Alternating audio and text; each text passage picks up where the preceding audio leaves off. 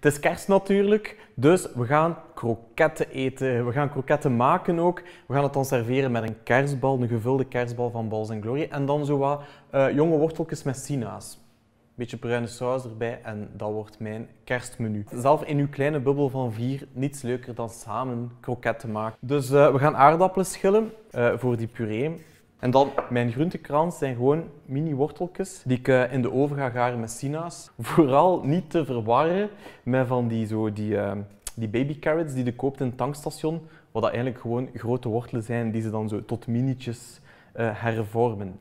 Dus ik ga die gewoon in een goed ingeoliede ovenschaal dresseren. Zijn die nog eens in twee. Zeker de grote, maar je wilt wel dat alles even gaar is, zodat je geen harde stukken hebt. Dus qua kruiding, zwarte peper, een beetje grof zout. Als je citroentijm hebt, ik vind het altijd nog wat leuker, omdat dat dan zo wat frisser is. Een paar blaadjes laurier erop en dan een goede scheut olijfolie. En dan gewoon een klein beetje extra smaak door er zo een schelke of twee een sneetje of twee bedoel ik, hè, uh, sinaas daar bovenop te leggen. Dus laat dat dan maar gewoon meebakken met die wortelen. Krijg gewoon een klein beetje citrusaroma. En dan masseer je allemaal een beetje samen. En dan schuif je dat gewoon super chill in je oven. 180 graden. En dan onze kerstbal. Dus ik ga nog een ovenschotel nemen. Het zijn balkjes van varkenskalfs gehakt, stukjes kip erbij, mandarijn, pistache en dan gevuld met veenbessen. Goed half uurtje in de oven, ongeveer 180 graden. Vergeet niet, we zijn kroketten aan het maken. Je wilt dan die aardappelen nog een klein beetje drogen. Dus zet hem maar nog even terug op het vuur. En dan gaan we ze kruiden. Peper, zout, nootmuskaat. Maar dan vooral, vooral geen boter of melk toevoegen. Alleen op deze hoeveelheid een tweetal eierdooiers. Dus enkel de dooiers. Je hebt gewoon een goede droge aardappelmassa nodig, anders gaan nu kroketjes open. Zorg dat die aardappel nu niet te warm zijn op moment dat je de dooier erbij doet. En dan moet je dat zelf met een houten lepel smeug losroeren.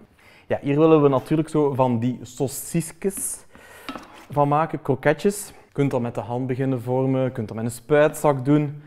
Maar het is toch geen kerst als je die doos van Milk Croquet niet kunnen opendoen hebt, zijnde uw krokettenmachine. Dus die puree gaat hier langs de bovenzijde erin. Zorg dat daar geen lucht of zo tussen zit. Kijk, daar zijn ze. Oké, nu zijn we rond. We hebben gewoon een klein scherp mesje nodig. En dan kunnen zo de typisch 4 cm kroketten gaan vormen. Hup, dan nu maar even afkoelen vooraleer dat we ze gaan uh, paneren. Dus dat eiwit loskloppen, moet daar eventueel een beetje à l'anglaise, een heel klein beetje zout en een heel klein scheutje olie bij doen. Dan hebben we paneermeel nodig, dat had ik al klaarstaan. En uh, bloem met je aardappelen. Even in de bloem. Ook de kantjes goed afkloppen. Even door het eiwit. En dan door uw paneermeel. Mooi opstijven, ook een beetje uit te drogen. En dan nooit te veel kroketten in één keer bakken. Dat is eigenlijk het geheim. Dat dat niet te snel afkoelt. En kijk, voilà, die kerstballetjes zijn goed. Kijk, die veenbessen beginnen al een klein beetje uit te lopen, dus dat is goed. Dan onze uh, wortelen met de sinaas. Kijk, hoe lekker ziet dat eruit. We kunnen kroketten bakken, maar ja, geen kroketten zonder bruine jus uh, natuurlijk. Dus ik heb hier uh, de saus van Balls Glory. Dat is eigenlijk een beetje de receptuur van mijn moeder haar saus voor benam. Dus dat is ook een klein beetje veenbessen, peer, rietsuiker uh, zit daarin. We gaan het gewoon warm maken. En mijn kerstmenu voor één persoon is klaar. Een mooie bal in het midden. Dan die worteltjes. De sinaas hoeft er niet bij. Zo kroketje of drie. En dan gewoon zo een goede drup. Kijk, dit is voor mij gewoon het ideale kerstmenu. In onze bubbel dit jaar. Het is wat het is.